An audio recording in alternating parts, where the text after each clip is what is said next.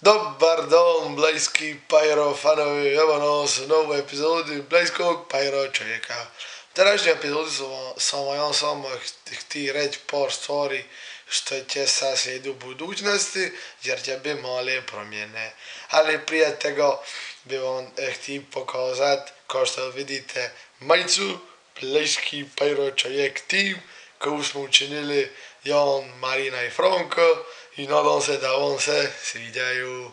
A sad e, krećemo na ono zašto sam učinio ovo, a to je da sad e, ja sam učinio sam 8 e, i ja sam mislio to učiniti sve u jedan video, ali sam vidi da bi to poti jedan video durao 20 ništa minuti i poslan odluči da će da ću to učiniti serijal.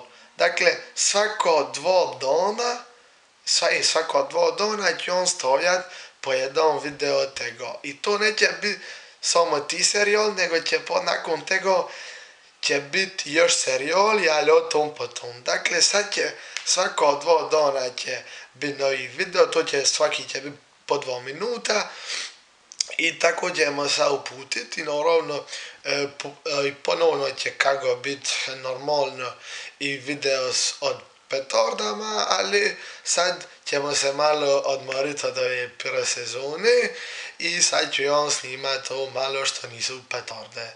I eto ga, to sam vam samo htio reći u ovom epizodi i eto ga, to bi bilo sve za današnji, da za današnju epizodu. Vidimo se u sljedećem Video。